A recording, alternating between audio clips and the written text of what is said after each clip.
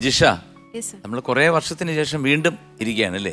അപ്പൊ എങ്ങനെയായിരുന്നു ഈ അറേഞ്ച്ഡ് മാരേജ് എങ്ങനെ എങ്ങനെ ഒത്തു വന്നത്?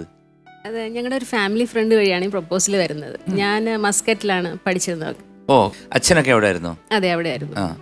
ഞങ്ങൾ ഫാമിലി ആയിട്ട് അവിടെ ആയിരുന്നു അപ്പൊ ഡിഗ്രിക്ക് പഠിച്ചുകൊണ്ടിരിക്കുന്ന സമയത്താണ് ഈ പ്രൊപ്പോസൽ വരുന്നത്. മസ്കറ്റിൽ അതെ ഞങ്ങളുടെ ഒരു ഫാമിലി ഫ്രണ്ട് കോമൺ ആയിട്ടുള്ള ഫാമിലി ഫ്രണ്ട് ശരിക്കും ജിഷ എന്റെ വീടിന്റെ അവിടെ നിന്നൊരു മൂന്ന് നാല് കിലോമീറ്റർ അപ്പുറത്താണ് കഴക്കൂട്ടം. കഴക്കൂട്ടമാണ് ഞാൻ ആ. ജിഷയുടെ വീട് കാര്യവട്ടത്തിനടുത്താണ്. അപ്പൊ ഒരു മൂന്നാൽ കിലോമീറ്ററിന്റെ വ്യത്യാസമേ ഉള്ളൂ. സിനിമയോടുള്ള ഇഷ്ടമാണോ അതോ പ്രേമിന്റെ അടുത്തുള്ള ഇഷ്ടമാണോ ഈ വിവാഹത്തിൽ കലാശിച്ചത്?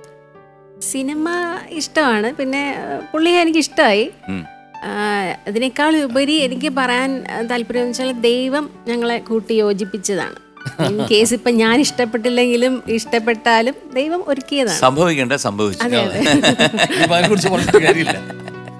അപ്പോൾ എങ്ങനെയാണ് പുള്ളി നന്നായിട്ട് പാചകമൊക്കെ ചെയ്യുമോ വീട്ടിൽ? അങ്ങനെ പാചകം ചെയ്യാറില്ല. എന്നാലും അത്യാവശ്യം അറിയാം. അറിയാം. പിന്നെ ചായയൊക്കെ സ്വന്തമായിട്ട് ചായ ഇട്ട് ഇഷ്ടം. ആ സ്വന്തമായിട്ട് ഇടുന്നതാണ് ഇഷ്ടം. ഞാൻ സ്വന്തമായിട്ട് ചായട്ട് കുടിക്കുന്നതാണ് എനിക്കൊരു ഇഷ്ടം. അതെന്താണ് അങ്ങനെ?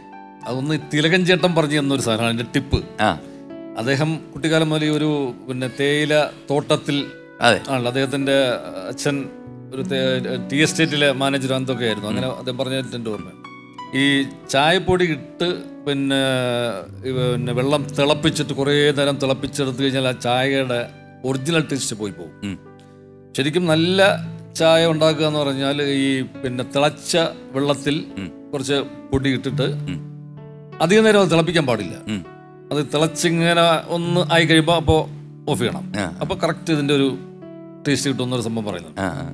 അതിൽ പാലൊക്കെ ഈ പാൽ ഒക്കെ ചേർക്കുമ്പോൾ കൂടുതൽ അത് ചേർക്കാൻ പാടില്ല. ഒരു അതിനൊക്കെ ഒരു ഒരു ഇതുണ്ട്.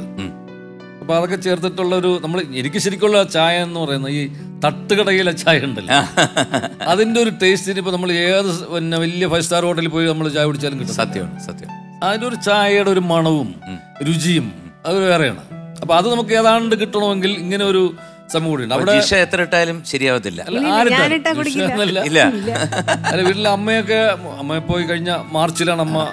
അറിഞ്ഞു ഞാൻ ആ, അറിഞ്ഞു അപ്പൊ അമ്മയൊക്കെ മുമ്പ് അമ്മ എന്നെ ചായ ഒക്കെ ഇട്ട് ത- തരുമ്പോ പോലും ഞാൻ പറയും വേണ്ടെന്ന് പറഞ്ഞ് ഞാൻ സ്വന്തമായിട്ട് ഉണ്ടാക്കുന്ന അത്യാവശ്യം പിന്നെ ചോറ് വയ്ക്കാനൊക്കെ വേണമെങ്കിൽ ഞാൻ വിചാരിച്ചാൽ നടക്കും. ഓ. പിന്നെന്താ? അറിയാം അതൊക്കെ നന്നായിട്ട് അറിയാം. അതൊക്കെ അറിയാം. പട്ടിണി കൂടാതെ രക്ഷപ്പെട്ടു പോവാൻ പ്രേമിന് പറ്റും. പറ്റും. ഒരു ചായ ഉണ്ടാക്കും അല്ലേ? വേണ്ടി വന്നാൽ ഇത്തിരി ചോറ് വയ്ക്കും. അതിന്റെ അതിന്റെ കൂടെ ഒരു സാമ്പാറും വയ്ക്കും. അവിയലും. അവിയലും. അത് വേണേ രാത്രിയും കഴിക്കും. അതുകൊണ്ട് ഹാപ്പിയാണ്. പിന്നെ ഞാൻ അങ്ങനെ ഒരു വിഭവ സമൃദ്ധമായ സദ്യ ഒന്നും വേണമെന്നൊന്നും ആഗ്രഹിക്കുന്ന ഒരാളല്ല. എന്ത് കിട്ടിയാലും ഞാൻ അഡ്ജസ്റ്റ് ചെയ്ത് പോകും. അങ്ങനെ അല്ല അങ്ങനെ നിർബന്ധമൊന്നുമില്ല. ഒത്തുവെച്ച് പറഞ്ഞു വന്നതാണോ ഇല്ല ഇല്ല. ഇല്ല.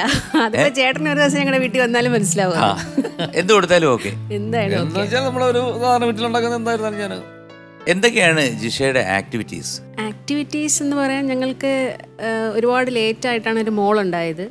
എട്ട് വർഷം കാത്തിരുന്നിട്ടാണ് ഒരു മോൾ ഉണ്ടായത്. എങ്ങനെ ഞങ്ങളുടെ പ്രാർത്ഥനയിൽ യേശു അത്ഭുതം പ്രവർത്തിച്ച് ഞങ്ങൾക്ക് ഒരു മോളെ തന്നു. മോളുടെ പേര് ജമൈമ പ്രേം. ഇപ്പൊ പതിമൂന്ന് വയസ്സാവുന്നു. പൊന്നു എന്ന് വിളിക്കും. അപ്പൊ അവളുടെ കാര്യങ്ങളൊക്കെ നോക്കി അങ്ങനെ കുറെ സമയം. പിന്നെ കുറച്ച് പച്ചക്കറിയൊക്കെ നട്ട് അങ്ങനെ അത് അതുണ്ട് വീട്ടിൽ. പിന്നെ ഈ അടുത്ത സമയത്തായിട്ട് ബേക്കിംഗ് തുടങ്ങിയിട്ടുണ്ട്. കേക്ക് ഉണ്ടാക്കുന്നത് എനിക്ക് ഭയങ്കര പാഷനാണ് അങ്ങനെ അത് ഏറ്റവും വലിയ സംഭവം കേക്ക് ഉണ്ടാക്കുക. വളരെ ബിസിയാണ് പാർക്കിലൊക്കെയുള്ള കുട്ടികൾ അവരുടെയൊക്കെ പിന്നെ ചില ഫംഗ്ഷൻസ് ഒക്കെ വരുമ്പോൾ ഒക്കെ അവരൊക്കെ അങ്ങനെ വിളിച്ചു പറയും. അങ്ങനെ വളരെ ബിസിയാണ് ഇപ്പോൾ ആ കാര്യത്തിൽ. എനിക്ക് ഭയങ്കര ഇഷ്ടമാണ് അത് ഒരു